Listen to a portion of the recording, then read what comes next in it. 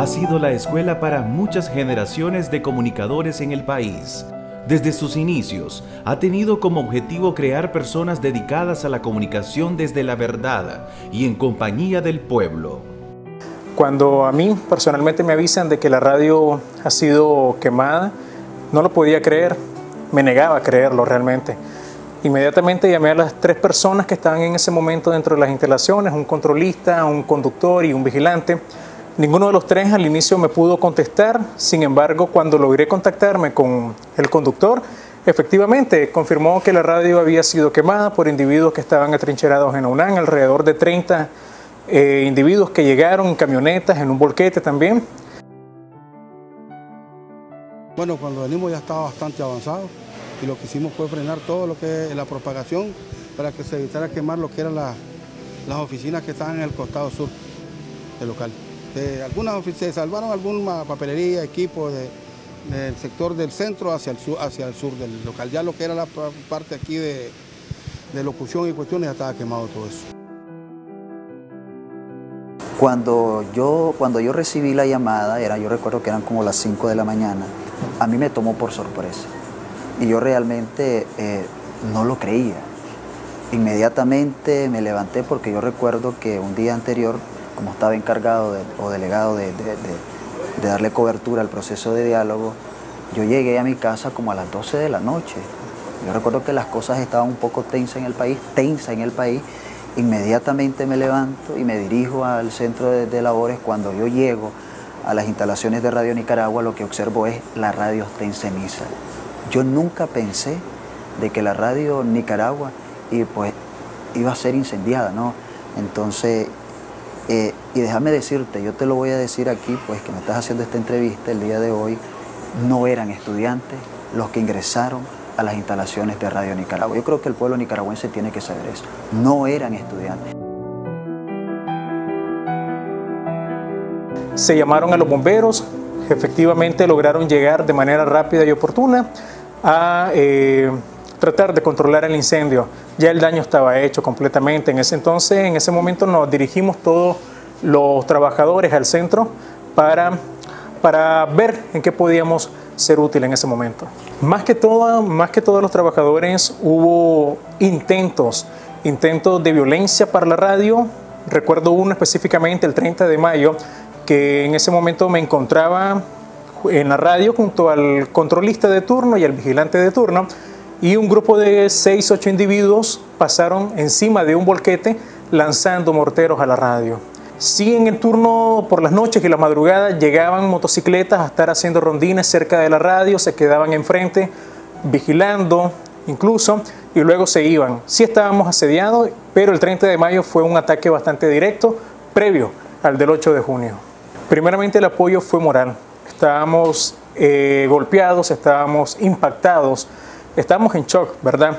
Sin embargo, el apoyo nos, primero nos dimos el apoyo moral para no decaer, para no bajar la, la cabeza, para no amedrentarnos ante lo que había sucedido y nos propusimos todos a unirnos aún más a unirnos aún más. Ellos quisieron callarnos, ellos quisieron silenciarnos, sin embargo lo que lograron fue más que todo unirnos, unificarnos y salir adelante con más fuerza, con más valentía, con más entrega, más compromiso ante la labor periodística, ante la labor informativa, de contrarrestar todas las mentiras que se estaban diciendo en ese entonces sobre lo que sucedía en el país.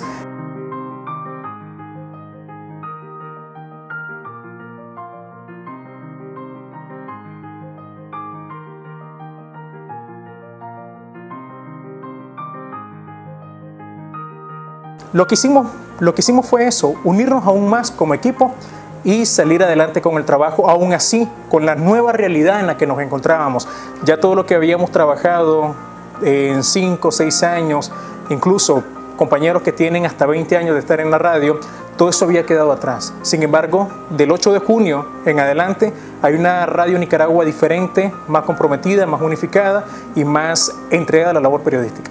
De repente cuando me llegan a, decir el suegro Noemí, me dice, este, quemaron la radio, yo no lo pude, no, no, no, todavía no, fíjate que todavía no lo dijeron, cada vez que a mí me toca pasar por Radio Nicaragua para ir a, hacer alguna, a firmar o alguna cosa, a mí me causó la misma impresión cuando llego a ver todo destruido a mí todavía yo no lo digiero. Este, a veces uno cree que es como melodramático, pero no. Es algo que difícilmente vas a poder borrar cuando estuviste compartiendo los mejores momentos, difíciles también en la radio, comunicando al pueblo la verdad por lo que estamos aquí por lo que estamos nosotros eh, renaciendo y tratando de hacer lo mejor y dar lo mejor de, uno mismo cada día. La impresión fue horrible, pasé llorando, todavía a eso de las 6 de la mañana me llamó la compañera Hixa Torres, igual yo no podía contener el, el dolor, también estaba así, ¿por qué no decirlo? Yo estaba con mucha ira estaba, me sentí impotente también porque andábamos demasiado estresados porque eso de estar pasando del trayecto a la casa para pasarnos a, trasladarnos a Radio Nicaragua, pasamos, pasábamos diariamente por muchos tranques y eso ya como que nos tenía topado.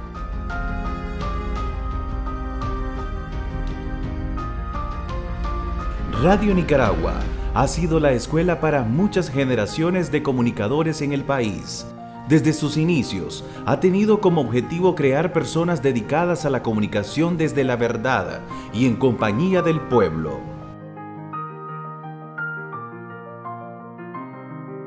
Ya a, cumplirse un año de, la quema de Radio Nicaragua, podemos decir, y el pueblo nicaragüense ya, ha despertado, ya porque el pueblo nicaragüense despertó de ese letargo, un letargo. Realmente el pueblo nicaragüense estaba cegado por la manipulación mediática. A un año nosotros decimos no eran estudiantes, eran delincuentes que ingresaron a Radio Nicaragua con morteros, con armas, disparando, inclusive eh, amenazando a los que estaban dentro de las instalaciones. Gracias a Dios no hubo fallecidos, gracias a Dios, pero bueno, aquí estamos, seguimos eh, al frente de la batalla.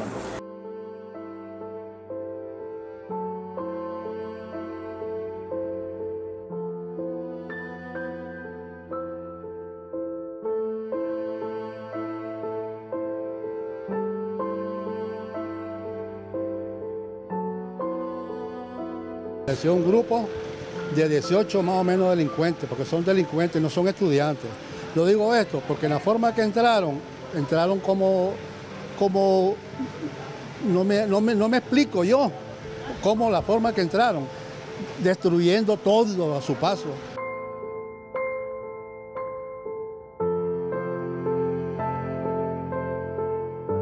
Realmente el ataque que estas personas realizaron a Radio Nicaragua eh, significa de que nosotros como periodistas de Radio Nicaragua, la familia de Radio Nicaragua estaba haciendo un buen trabajo. Cuando vos no haces un buen trabajo, nadie te va a molestar. Es como dice la Biblia, todo el mundo lo conoce, todo el mundo ha leído la Biblia. La Biblia dice que al buen árbol que da fruto de, se, se le ve, se le refleja. Y realmente la, al recibir ese ataque por parte de estas personas que no eran estudiantes, sino delincuentes, refleja que a ellos les incomodaba que nosotros le dijéramos la verdad al pueblo nicaragüense, que le contáramos la verdad al pueblo nicaragüense, lo que estaba pasando en el país, porque nosotros estamos, estábamos, eh, nosotros eh, estamos viviendo, estábamos reflejando lo que estaba pasando realmente en el país. Entonces nosotros como periodistas estábamos observando lo que ellos estaban realizando. Entonces a ellos les incomodaba y les molestaba eso. Entonces yo creo que a nosotros nos motiva eh, seguir en este trabajo es por la verdad. Entonces por eso es que nosotros continuamos dando la batalla y seguimos al frente. Esperábamos en cualquier momento, eh, eh, tanto de día o de noche, esperábamos que nos dieran la noticia o que nos fueran a atacar a cualquier hora. Pues digo yo, no sé qué hubiese pasado si hubiera estado ahí por la discapacidad si hubiésemos pasado la situación que pasaron los hermanos de Radio Ya, pero en ese momento pues sentí que, que no se terminaba porque siento que como comunicadores, como militantes, eh, nosotros sabemos que nunca es el último día hasta que Dios te arrebata o te quita la vida, pero sabíamos que esto era apenas un comienzo. Si nos amenazaban tanto por teléfono, a través de las, de las eh, de, a través de nuestra página web. Igual en, nuestro, en nuestras redes sociales personales nosotros teníamos las amenazas de manera constante, ya en Messenger a, nosotros nos entraba a cualquier hora de la noche las amenazas o aquella persuasión entre comillas que te decían estás a tiempo, eh, salite de ahí, te vas a arrepentir te vas a arrepentir porque todos ustedes van a ser eliminados. Incluso hubo un malestar entre mismos compañeros de trabajo porque habían compañeros también liberales y bueno, sí, de, manera también cuando andaban ofuscados nos comenzaron a decir una semana antes o eh, compañeros que andaban bastante eh, iracundos nos comenzaron a decir que nosotros ya estábamos acabados, que nadie nos creía, qué sé yo, eh, y que nos iban a quemar. Entonces nosotros esperábamos en cualquier momento tal vez atentados en cuanto a balazos, porque a una semana antes nos habían pasado tirando un, camión con campesinos que estaban ahí en la, catedral, pasaron tirando morterazos, entonces yo dije, bueno, esto en cualquier momento a nosotros nos pasa. Esperamos y confiamos en Dios, pero no dejamos de trabajar y de confiar y seguir comunicando. No paramos jamás y yo creo que no hemos parado. también se dio que cuando nosotros salimos, ah, antes de las 24 horas ya estábamos aquí en el aire. Eh, nosotros trabajamos y fue como un reencuentro entre lágrimas, cómo íbamos a comenzar, cómo íbamos a comenzar este, en un lugar tan chiquitito que obviamente se estresa pero era como un encuentro de vernos entre, entre compañeros en un lugar pequeño. Y saber que lo habías perdido todo, tus condiciones. Y, bueno, pues sí, aquí estamos. La motivación principal fue la audiencia, fue el pueblo nicaragüense seguirnos, eh, como te decía anteriormente, comprometernos más a trabajar mejor, a trabajar de manera incansable. Si es necesario estar los 24 días, las 24 horas del día, 7 días a la semana, nosotros nos comprometimos a estar dentro de la radio, a estar eh, informando, a estar también entreteniendo, porque no es solamente dentro de Radio Nicaragua venir y, y tratar de desenmascarar todo ese escenario de violencia que había. También las familias nicaragüenses merecen recrearse, merecen eh, entretenerse y también nosotros nos comprometimos a eso, a, llevar un poco de, oxigenación dentro de nuestra programación con música, programas de entretenimiento, eh, producciones creativas para tratar de sobrellevar la situación que, que teníamos en ese entonces.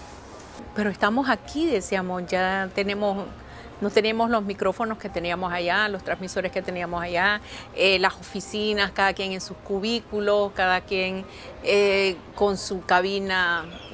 Para mí, pues una de las cabinas hermosísimas que se había hecho con tanto sacrificio, con tanto amor. Eh, era un edificio que habían pasado tantos periodistas, tanta gente, tantos locutores muy buenos, por cierto, jóvenes, ya nosotros como, como adultos y, mirar pues el apoyo que nos dábamos, pero vamos a salir adelante, pero vamos a seguir luchando, pero lo importante es que aquí estamos, estamos vivos y no importa, lo demás se perdió, pero no nos quitaron la voz, nuestra voz está aquí y yo creo que la tenemos como más, más fortalecida y también fortalecidos por dentro, porque creo que nos quedamos quienes siempre hemos sido y vamos a seguir siendo.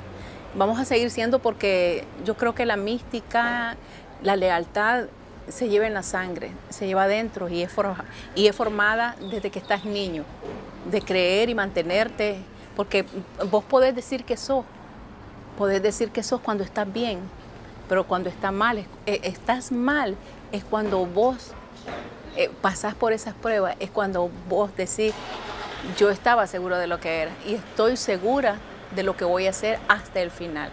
Porque como te digo, esto apenas comienza la verdad. La verdad y todo el proyecto, cuando vos mirás a eh, los proyectos que, han llevado beneficio a Nicaragua, cuando ves a Nicaragua, eh, una Nicaragua diferente, cuando venís de la guerra, y lo que nos motivó fue eso, defender la verdad a, toda, a todo costo, a cualquier costo. A defender la paz. Yo digo que es tan difícil, eh, es más impactante. Yo viví la, guerra del 79 y es muy diferente el impacto que, que tuvo esto, difícilmente de olvidar, porque no es lo mismo saber y estar preparado que estás en una guerra, que te hagan una guerra en medio de la paz. Es muy difícil y yo creo que es más difícil de digerir.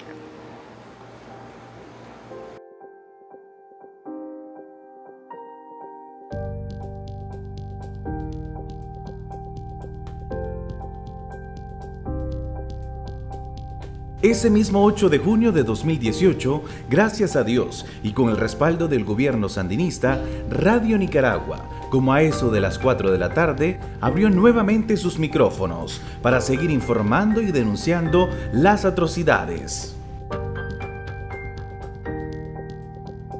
El trabajo en equipo, la firmeza y el compromiso con la verdad de lo que ocurría en el país hizo que Radio Nicaragua siguiera transmitiendo dándole voz a aquellos que eran víctimas del terrorismo instalado a través de los tranques de la muerte.